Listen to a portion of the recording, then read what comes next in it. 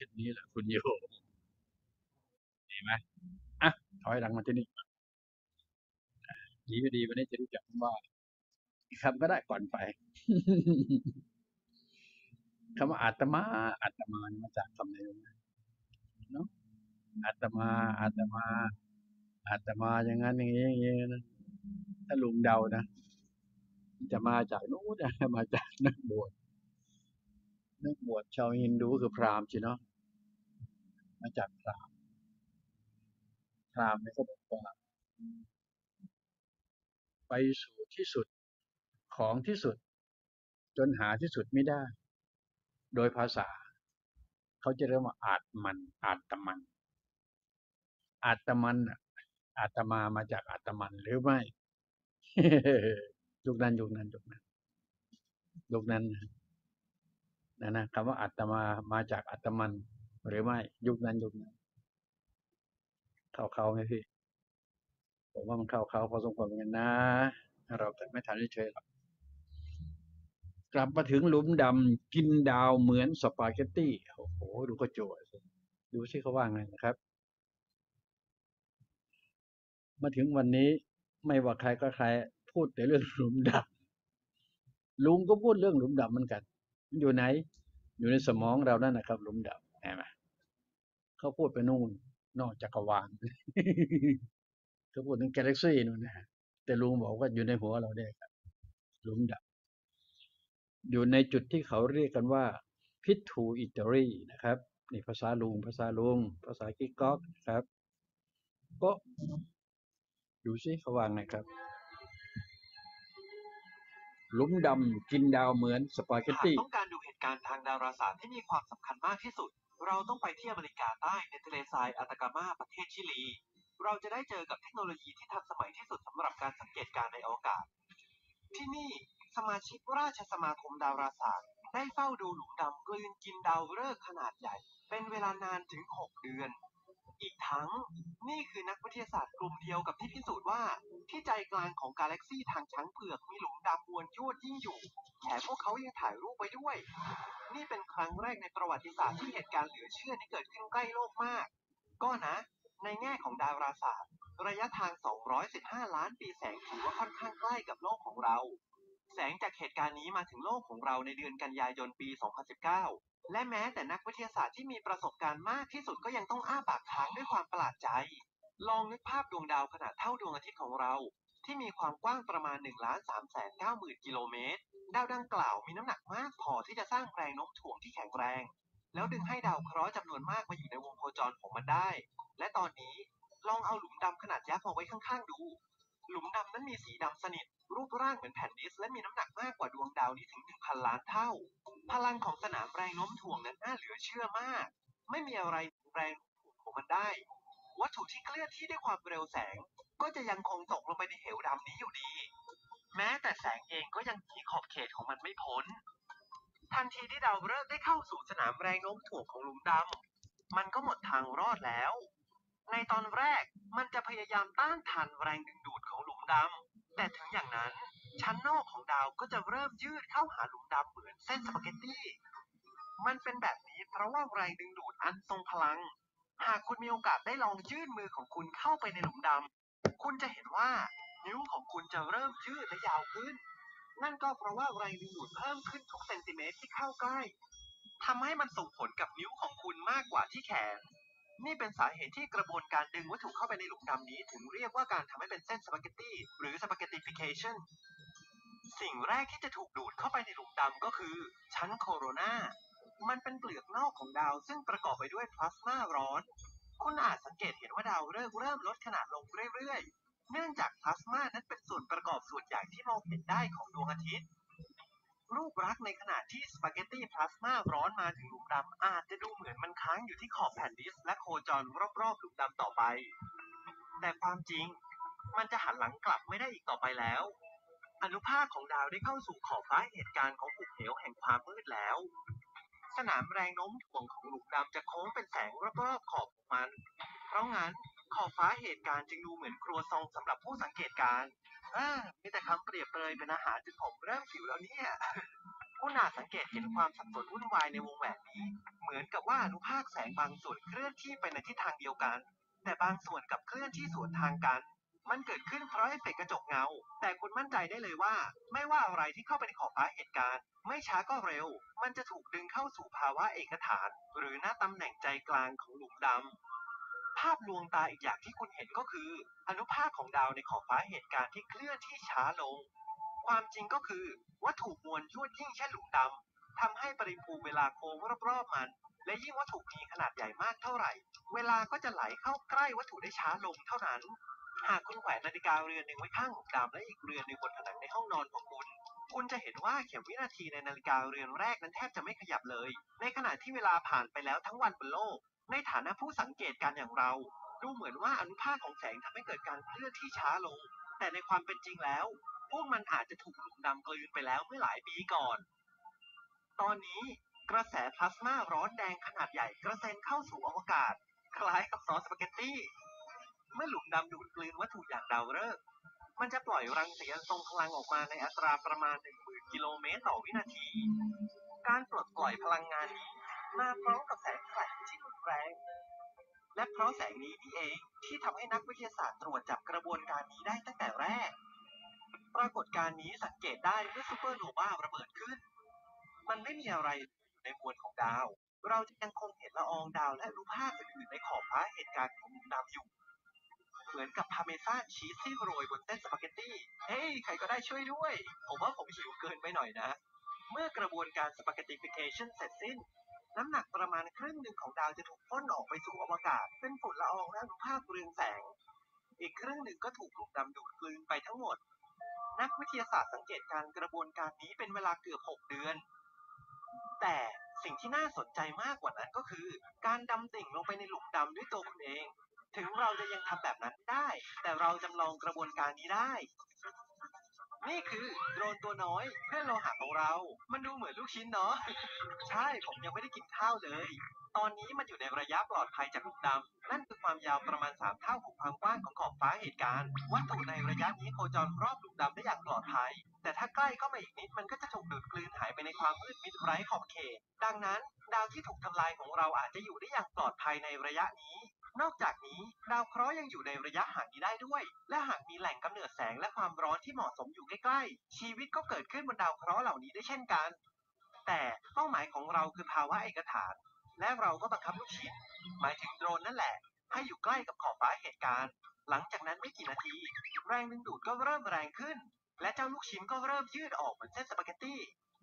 เมื่อมันเริ่มหมุนรอบแผ่นดินสีดำ นั่นก็หมายความว่ามันมาถึงขอบฟ้าเหตุการณ์ และเริ่มดำดิ่งลงสู่เหวแห่งความมืดแล้ว ตอนนี้เรามาดูทุกอย่างจากมุมมองของเจ้าลูกชิ้นกัน แสงจากดวงดาวทั้งหมดที่มันเห็นจะกลายเป็นสีฟ้า สิ่งนี้เรียกว่าคลื่นความโน้มถ่วงสีฟ้า เมื่อมันตกลงไปในหลุมดำสนามโน้มถ่วงของมันจะดึงโฟตอนของแสงออกมาทำให้พวกมันมีพลังงาน เมื่อความยาวคลื่นสั้นลง โฟตอนสีแดงจึงเปลี่ยนเป็นสีฟ้า เจ้าลูกชิ้นยังคงร่วงลงไปเรื่อยๆ และเราก็มองไม่เห็นมันอีกต่อไปแล้ว สิ่งเดียวที่หุ่นยนต์เห็นได้ก็คือแสงสีฟ้าบางๆ ตอนนี้มันตกอยู่ในความมืดสนิท ที่นี่ไม่มีอะไรเลย ไม่มีแม้แต่เวลา ในที่แห่งนี้ เวลาจะผ่านไปอย่างช้าๆ จนระบบสุริยะทั้งหมดของเราอาจจะเก่าแก่ และสูญสลายภายในช่วงเวลาแค่หนึ่งนาทีในหลุมดำแต่เจ้าลูกชิ้นของเราจะใช้งานได้จนกว่าแบตเตอรี่จะหมด เฮ้ยเจ้าลูกชิ้นเห็นแสงกลุ่มเล็กๆอีกแล้ว มันเริ่มเข้ามาใกล้และชัดเจนมากขึ้น ตอนนี้โดรนเจอกับการร่วงหล่นแบบเดียวกัน แต่เป็นในทางตรงกันข้าม เมื่อโดรนออกจากสภาวะเอกฐานที่ใจกลางของหลุมดำ มันจะไปอยู่ที่ขอบฟ้าเหตุการณ์อีกครั้ง แสงจากดวงดาวค่อยๆ เปลี่ยนจากสีฟ้าเป็นสีแดง จากนั้นเจ้าลูกชิ้นก็จะถูกโยนออกไปยังอวกาศข้างนอก บางทีอาจจะอยู่ในกาแล็กซี่ที่อยู่ห่างไกลก็ได้ ก็นะ การกลับออกมาจากหลุมดำเป็นแค่ทฤษฎี บางคนคิดว่าหลุมดำเป็นรูหนอนชนิดหนึ่งที่พาเราไปยังที่ที่ห่างไกลในอวกาศได้ แต่จนถึงตอนนี้ ทฤษฎีเหล่านี้ก็ถือเป็นแค่เรื่องที่แต่งขึ้น หลุมดำเป็นสิ่งที่ค่อนข้างตรวจจับได้ยาก และปัญหาใหญ่ก็คือ พวกมันมีสีดำเช่นเดียวกับอวกาศไงล่ะ พวกมันไม่เปล่งแสงเหมือนดวงดาว เราจึงตรวจพบได้จากความผิดปกติของแรงโน้มถ่วงเท่านั้น แต่ถึงอย่างนั้น นักวิทยาศาสตร์ก็เชื่อว่ามีหลุมดำจำนวนมากมายในจักรวาลของเรา พวกมันเกิดขึ้นเมื่อดาวฤกษ์ขนาดใหญ่แตกกระจายเพราะน้ำหนักของมันเอง และปล่อยดาวออกมามากมายในจักรวาล หลุมดำอาจจะเป็นปรากฏการณ์ที่เกิดขึ้นได้ทั่วไป นักวิทยาศาสตร์เชื่อว่าหลุมดำมีช่วงชีวิตของตัวเอง นี่เป็นเพราะการแผ่รังสีฮอกกิงที่ทำให้หลุมดำสูญเสียมวล เพราะงั้นเพื่อให้ดำรงอยู่ต่อไปได้ มันจะต้องดูดเอาวัตถุขนาดใหญ่เข้าไป อย่างเช่นดาวที่เราเพิ่งดูไป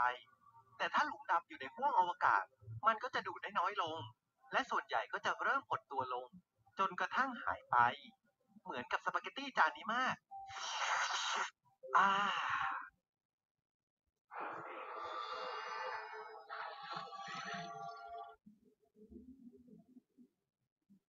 จบข่าว โอ้โห สุดยอดเหมือนกันนะฮะ ถ้าลุงดูโดย ตั้งอกตั้งใจนะครับ ไม่ว่าจะเป็นภาพแอนิเมชันที่เขาทำเอาไว้ให้ดูนะครับ แล้วก็ภาษาที่เขาใช้กันนะฮะมันมีสองคำเหมือนกันเป๊ะ ลุงก็พูดมาเป็นประจำนะฮะว่าหนึ่งมีคำว่าพลาสมาสองมีคำว่าโฟตอนสองคำนี่คืออันเดียวกันนั่นเองเห็นไหมฮะทางด้านฟิสิกส์เขาจะเรียกว่าโฟตอน ทางด้านชีวะ เรียกว่าพลาสมา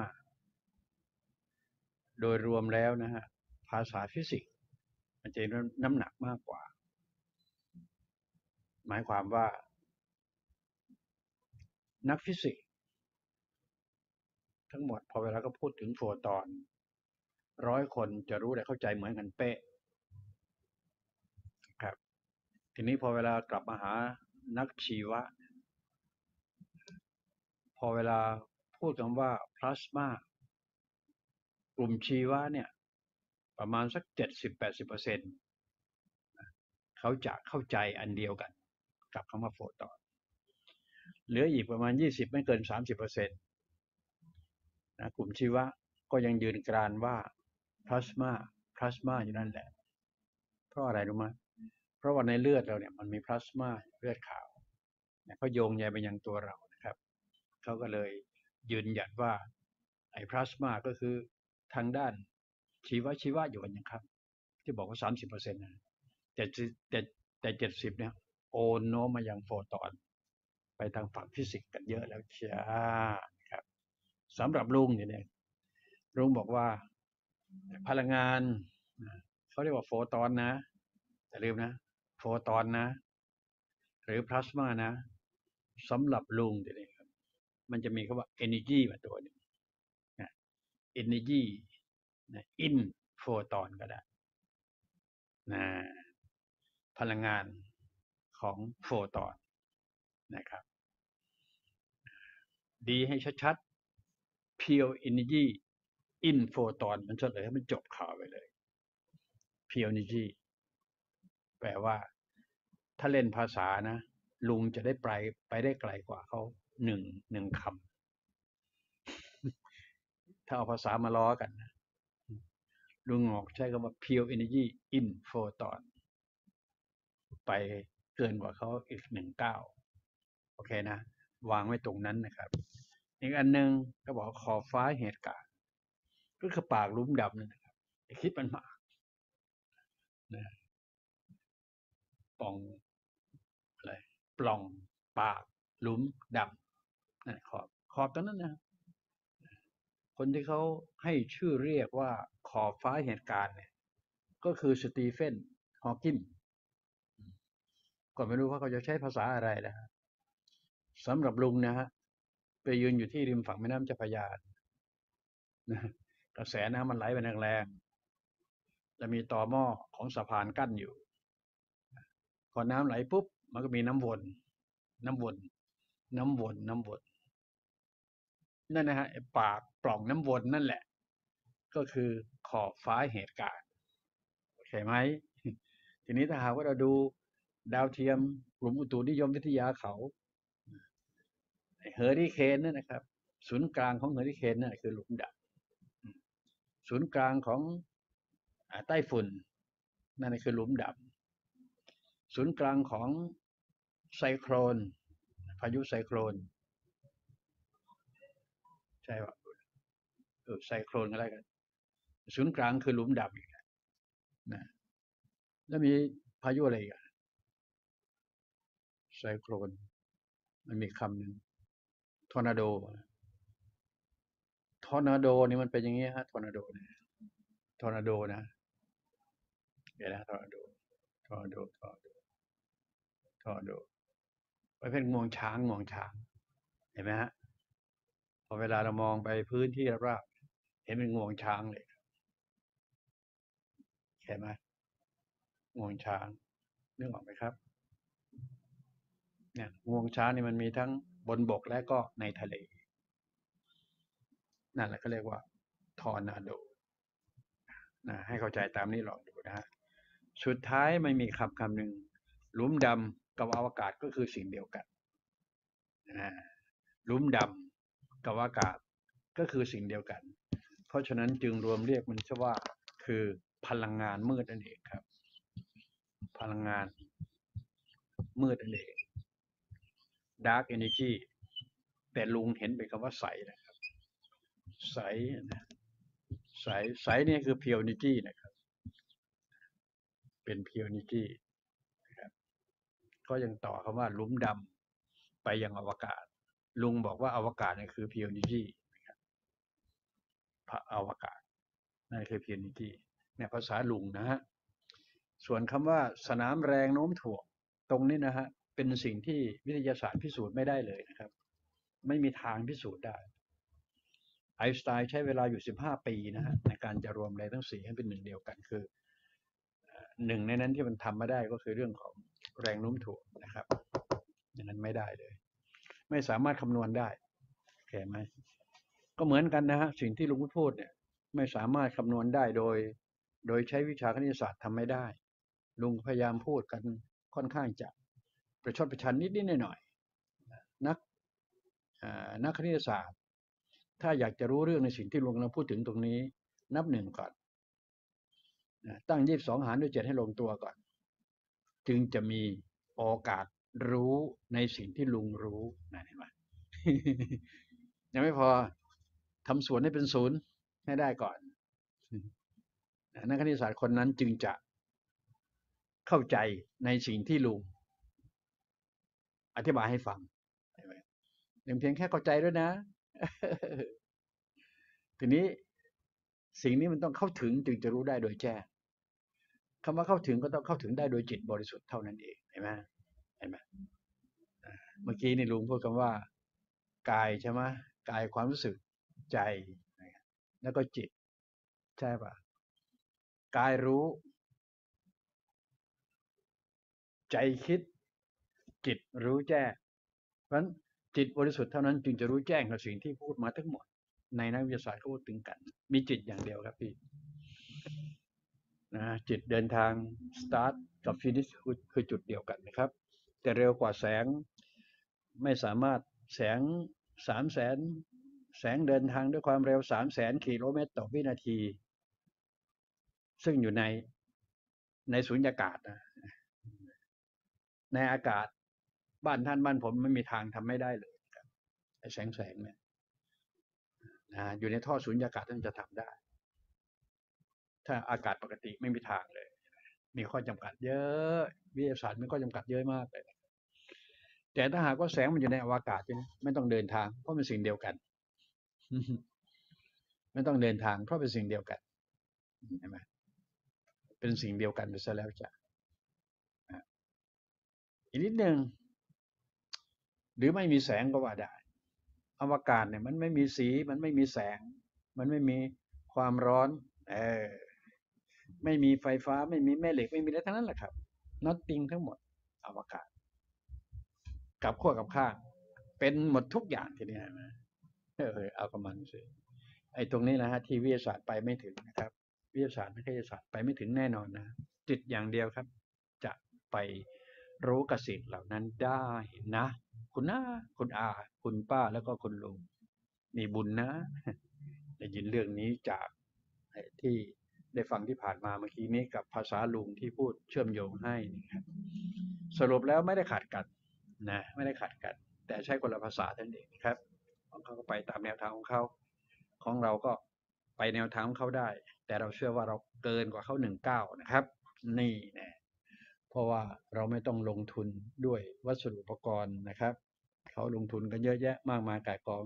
กว่าเขาจะมาเล่าให้เราฟังผ่านจออะไรต่างคนนี้ให้เข้าใจตาม ก็ถือว่า thank you very big สำหรับนักวิทยาศาสตร์นไหม